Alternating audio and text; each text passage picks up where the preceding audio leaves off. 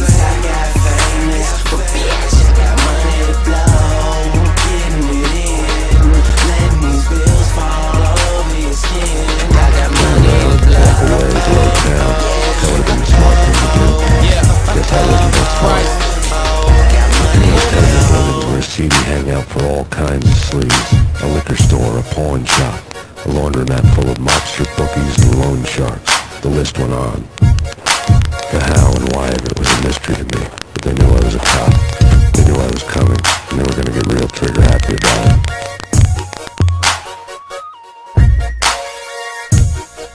I got to see Lupino's hangout all lit up. A bomb went off, turning snow into liquid gold. A pillar of fire lifted the remains of the car straight up into the air. Flames were highlighted on the hood of a black Mercedes-Benz as it coasted down the street real slow, as if the driver didn't have a worry in the world. I got a good look at the man riding shotgun. It was Vladimir, the head of a local Russian mob, flying down Punchinello's suit.